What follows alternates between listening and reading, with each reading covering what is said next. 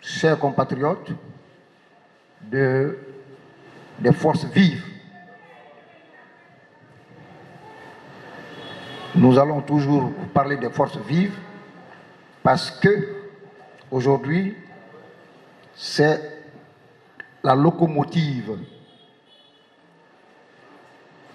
pour nous mener à la victoire.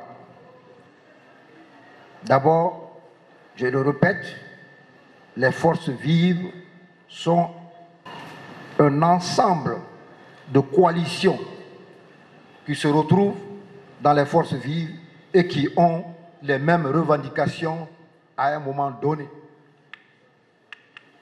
Donc notre engagement, si le thème parle de notre engagement dans les forces vives, notre engagement dans les forces vives, c'est que dans cette période donnée, nous avons les mêmes engagements, les mêmes revendications que certaines, coalitions. C'est pourquoi nous sommes ensemble pour faire aboutir ces revendications. Et le combat continue et nous nous battrons, Inch'Allah, pour faire aboutir nos revendications. Vous savez, ces revendications, c'est quoi? C'est d'abord la libération de nos camarades injustement emprisonnés. ce qui est notre préalable d'abord. La libération de nos camarades injustement emprisonnés. Le retour des exilés pour qu'ils rejoignent la patrie afin qu'on s'asseye autour de la table ensemble avec les autorités actuelles pour définir les contours de la transition de façon consensuelle. Donc, si nous sommes d'accord sur tous ces points-là, on doit aller ensemble pour faire aboutir ces revendications. Le contour de la transition pour aller le plus rapidement possible.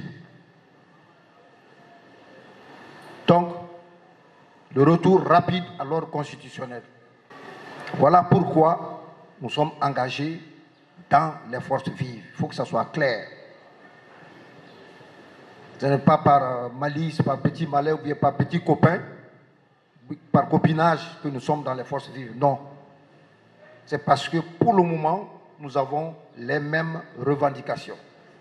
Et je vous ai cité tout de suite ces revendications-là. Nous voulons rapidement que nos camarades qui sont en prison soient libérés. Parce que jusqu'à maintenant, là, franchement, c'est tellement clair, on ne peut, plus les regarder. On ne peut plus les garder. Tout ce qu'on peut faire, c'est de les libérer. Il n'y a rien de honteux à ça.